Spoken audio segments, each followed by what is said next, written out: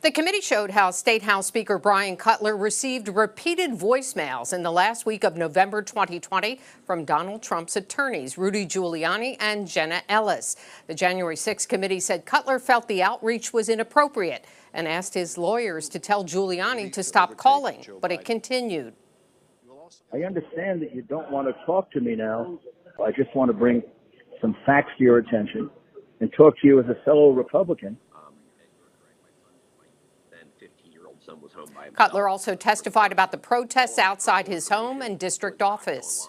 Uh, It was protests, I actually don't remember the exact number. Uh, There was at least three, I think, um, outside either my district office or my home. Um, And you're correct, my son, my then 15-year-old son was home by himself uh, for the first one.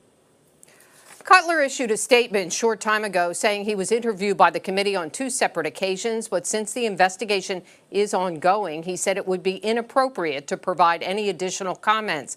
Cutler and dozens of Republican lawmakers sent a letter to Pennsylvania's congressional delegation in December 2020 telling them to object to the election results. His spokesperson said the letter urged the delegation to take into account actions that were taken to change Pennsylvania's election law outside the legislative process. The delegation ultimately chose not to object to the results. Susan Shapiro, WGAL News 8.